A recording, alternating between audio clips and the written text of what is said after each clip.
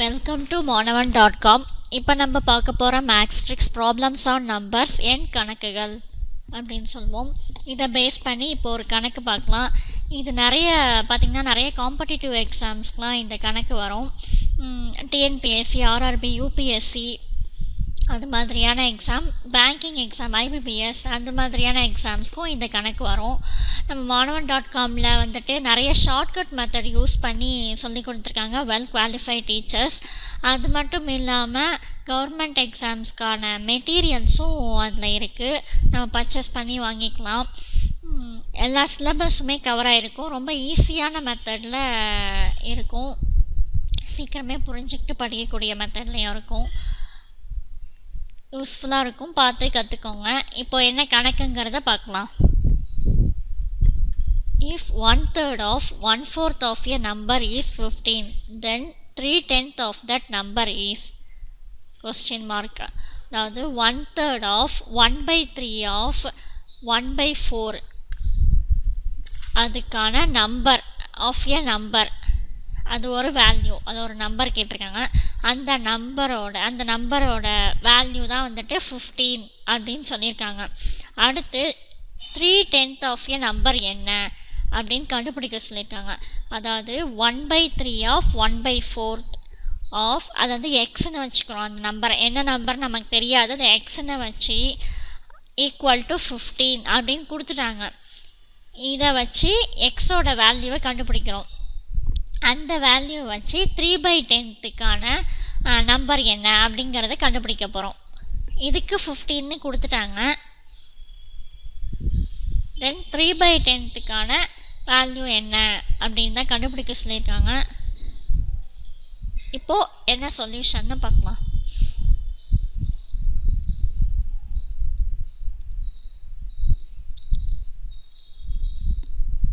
இப்போது let the number x அந்த number நமக்கு தெரியாதுங்கிறதுனால அந்த நம்பரை நம்ம எக்ஸ்ன்னு வச்சுக்கிறோம். Let the number be x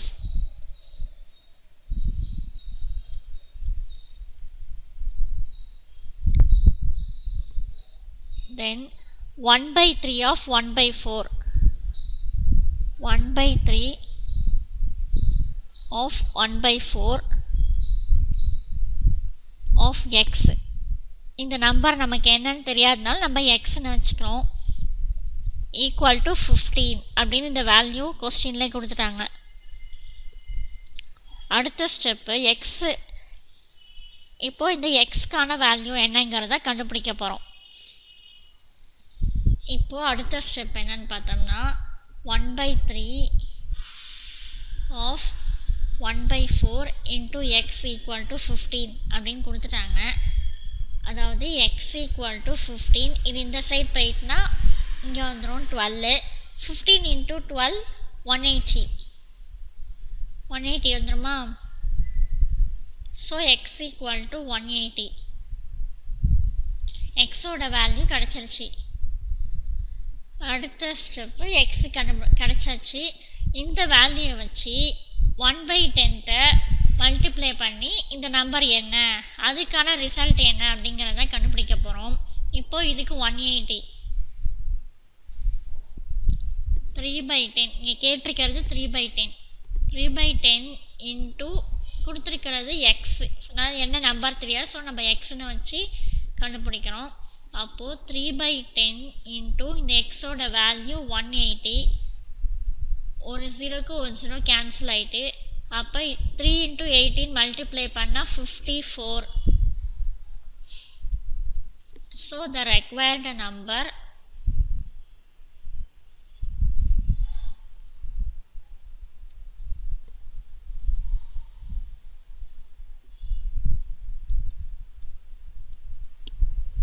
fifty four இதான் இந்த கணக்குக்கான ஆன்சர் இது மாதிரி நிறைய கணக்கு நம்ம மாணவன் டாட் காம் வெப்சைட்டில் இருக்குது பார்த்து கற்றுக்கோங்க அது மட்டும் இல்லாமல் online study materials video tutorials online எக்ஸாம்ஸும் conduct பண்ணுறாங்க மாணவன் டாட் காம் வெப்சைட்டில் ரொம்ப யூஸ்ஃபுல்லாக இருக்கும். பார்த்து கற்றுக்கோங்க தேங்க்யூ